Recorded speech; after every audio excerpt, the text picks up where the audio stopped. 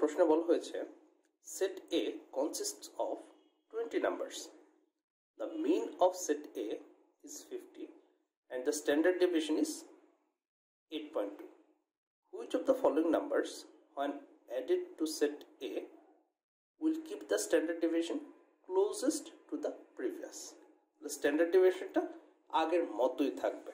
ওকে তাহলে আমি যদি ডেটা সেটটা এখানে চিন্তা করি যে আমার এটা হচ্ছে আমার ডেটা সেট ওকে আচ্ছা তাহলে এখানে হচ্ছে, এখানে টোয়েন্টি নাম্বার আছে, ঠিক আছে? মিন হচ্ছে ফিফটি ফাইভ মিন মিন ধরলাম fifty five standard division eight point two that means first standard division above the mean এটা হবে এইট পয়েন্ট টু বেশি।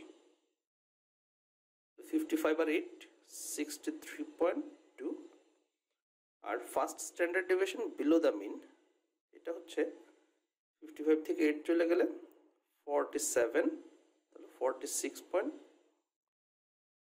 eight then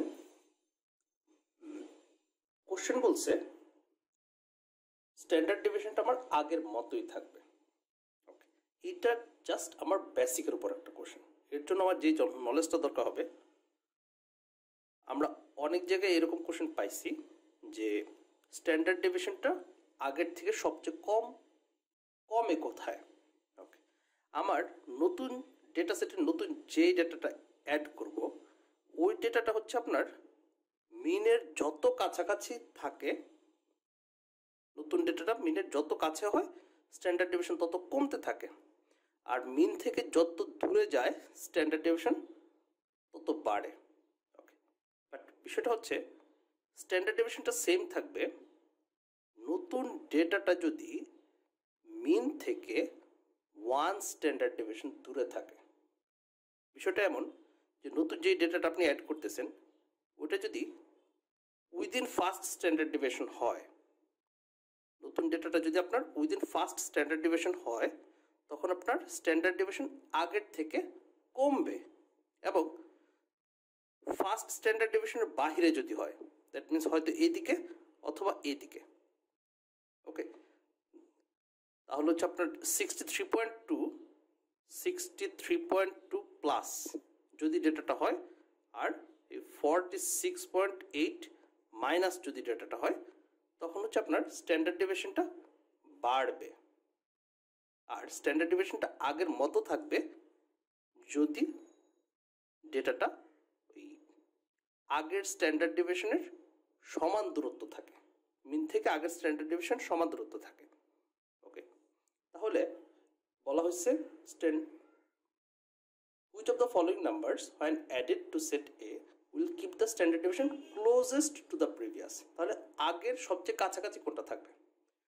তাহলে নতুন যে ডেটাগুলো অ্যাড করতেছি, ওইটা যদি ওয়ান স্ট্যান্ডার্ড ডিভিশন দূরে থাকে বা প্রায় কাছাকাছি ওকে তাহলে আগের মতোই থাকবে স্ট্যান্ডার্ড ডিভিশনটা দেন ভ্যালুগুলো এখানে দেখতে পাচ্ছি, একটা ভ্যালু আছে আমার forty seven forty seven forty six point এইটের কাছাকাছি, আর একটা ভ্যালু আছে আমার ডিরেক্ট সিক্সটি থ্রি ওকে যেহেতু ওয়ান স্ট্যান্ডার্ড ডিভিশনের কাছাকাছি, তাহলে হচ্ছে এই দুইটা ভ্যালু অ্যাড করলে আগের স্ট্যান্ডার্ড ডিভিশনের কাছাকাছি থাকবে ওকে এবং ঠিক যদি আমি সিক্সটি থ্রি পয়েন্ট অথবা ফর্টি সিক্স পয়েন্ট এইট বা এই দুইটাই অ্যাড করতাম সেম টু সেম তাহলে আগে যত স্ট্যান্ডার্ড ডিভিশন ছিল, এই দুটো অ্যাড করার পরেও স্ট্যান্ডার্ড ডিভিশন সেম হইতো।